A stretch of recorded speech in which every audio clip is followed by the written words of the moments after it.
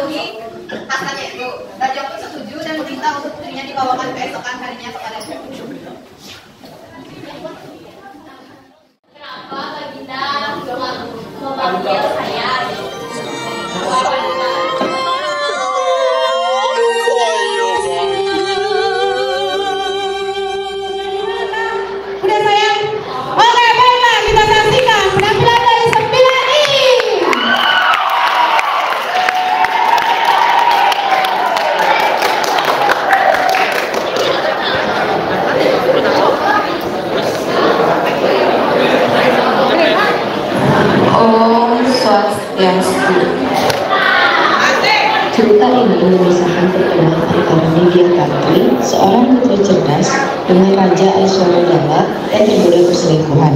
Meskipun dihadapkan pada takdirnya, Nidya Tantri menunjukkan kebijaksanaannya dalam dialog dengan Raja. Memunculkan diskusi mengenai cinta, kesetiaan, dan peran perempuan dalam hubungan. Dia mengingatkan pentingnya menghormati pasangan, emosi dalam hubungan, dan menghargai perempuan. Melalui dialog yang mendalam, Raja mengalami transformasi pikiran dan bersedia berkomitmen dalam pernikahan dengan Widya Tantri. Menggambarkan kekuatan cinta sejati dan pelajaran tentang kesetiaan, komunikasi, dan penghargaan terhadap pasangan.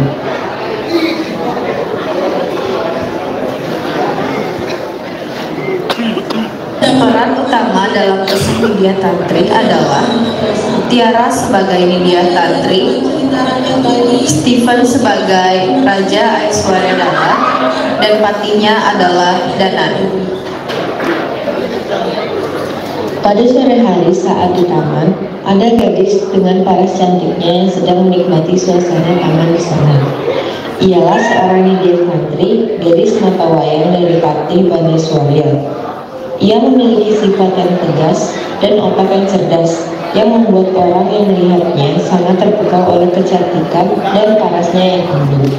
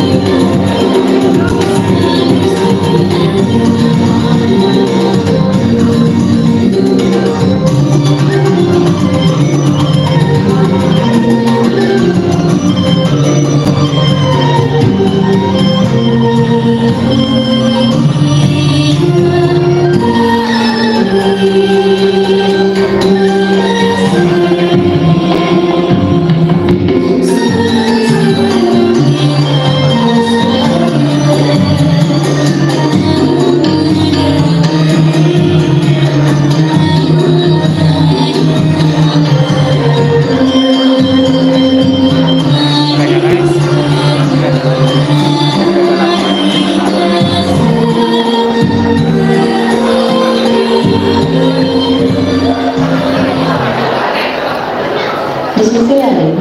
raja bernama Raja Aiswarnala sedang menikmati gadis-gadis yang sedang menari untuk menghiburnya dan sekaligus untuk memuaskan hasrat si raja. Di sana, dia sangat menikmati penampilan itu sampai tiba-tiba sang penasehatnya datang.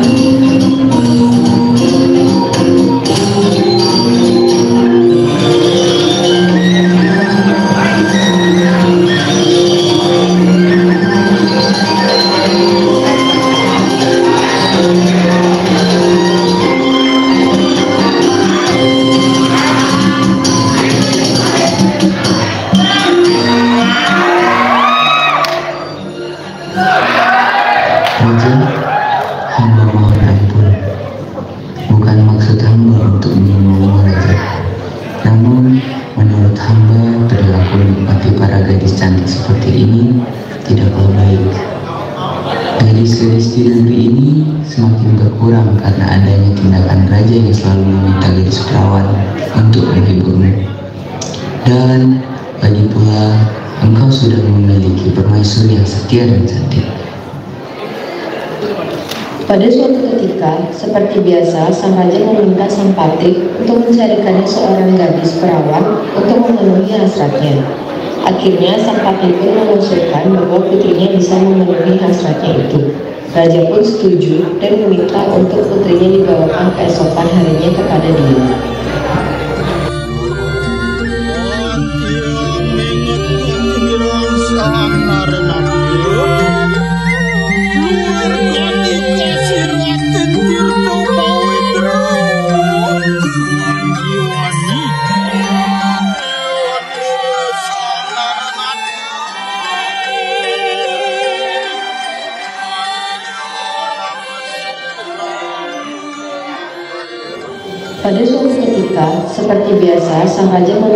Patih untuk mencarikannya seorang gadis perawan untuk memenuhi hasratnya.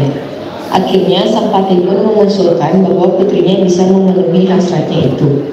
Raja pun setuju dan meminta untuk putrinya dibawakan keesokan harinya kepada dia. Mengapa Raja memanggil hamba? Putriku tolong carikan seorang gadis perawan ingin ada gadis perawan. Hamba akan mengusulkan untuk menjadikan putri hamba sebagai pendamping bagi raja. Saya yakin putri hamba mampu untuk memberikan yang cukup baik untuk bagi raja. Baik, segera bawa yang mereka. Saat sang patih sampai di rumah, saat sang patih sampai di rumahnya, sang patih pun segera mencari dan menyampaikan hal tersebut pada Nindya Tantri yang sedang bersenang-senang di taman. Nindya Tantri pun sedikit memiliki rasa marah, tak ingin diaturkan, namun apa daya ia tak bisa membantah suruhan ayahnya. Ia pun setuju dengan ayahnya dan bersiap untuk menemui Raja esok hari.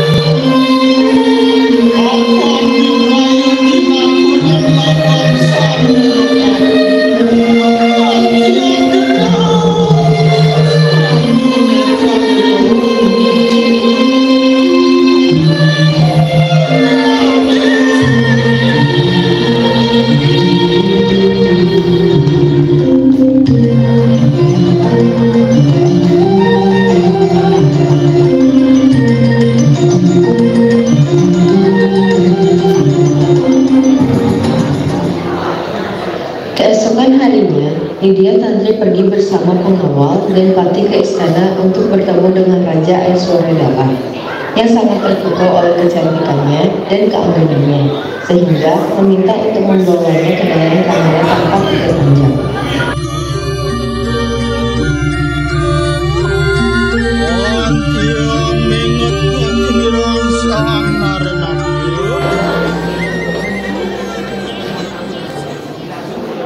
Mohon ampun Baduga, ini yang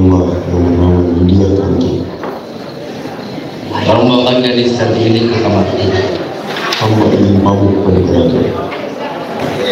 Di dalam kamarnya, sang raja meminta semua keluar kecuali Widya Tantri, yang kemudian mengadakan percakapan panjang dengan tujuan menyadarkan sang raja akan kesalahannya, serta menanyakan hal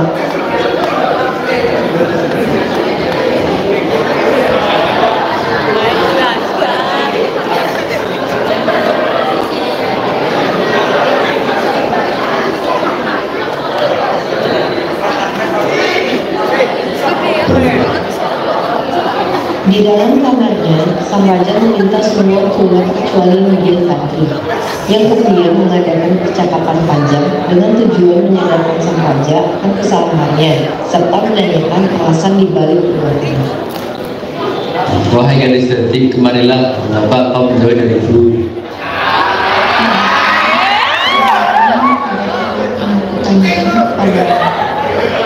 Apa itu? Paduka suka mencari gadis-gadis lain. Bukankah permaisuri Paduka sangat cantik dan juga setia? Kamu hanya senang dengan keindahan gadis-gadis itu. Oh Paduka, mohon ampun. Paduka telah memasuki wilayah sangat aneh dalam membangun motivasi diri. Paduka tidak bijak memandang wanita. Ketika Paduka melirik wanita lain, tidakkah itu bentuk pelecehan cinta yang terbelah, Paduka?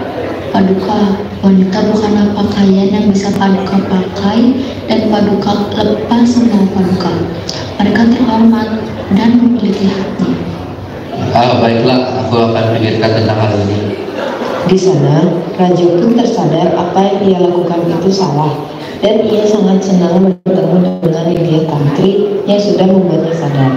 Akhirnya, raja pun berjanji untuk menikahi Widya Tantri sebagai istri sahnya, dan belajar untuk mencintai wanita dengan benar, dan juga berhenti mencari gadis-gadis lain. Aku menyadari diriku, aku telah mengalami seribu hati. Aku berjanji akan berubah. Dan kau Kemudian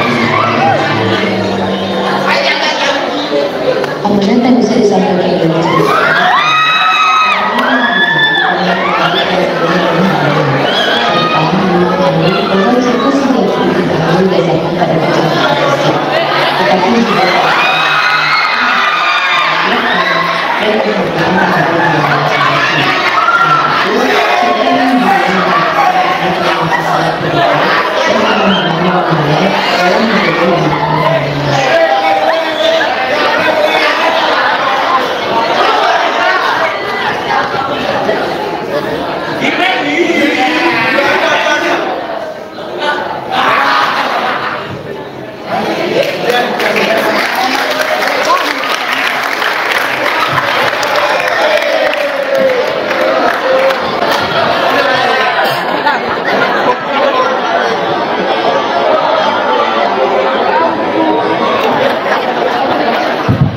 Tiga.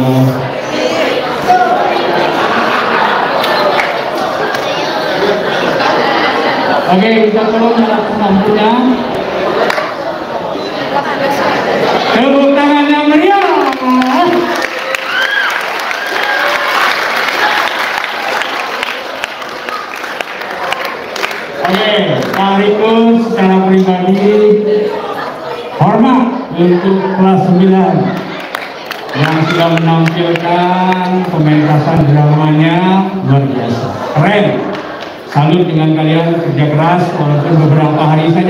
persiapkan ini tapi sudah berjalan dengan baik dan Pak Ribut Arjuni ya.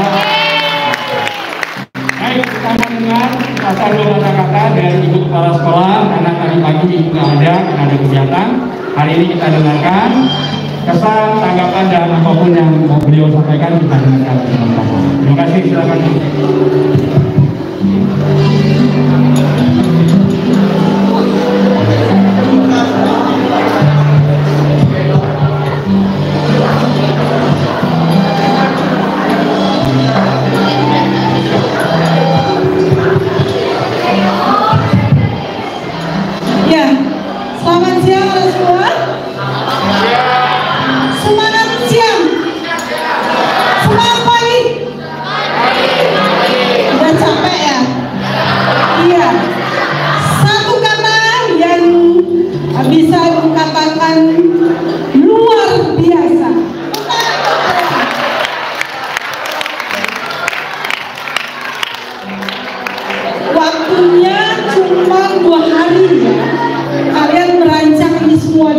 tiga hari? Hah? Berapa hari Pak?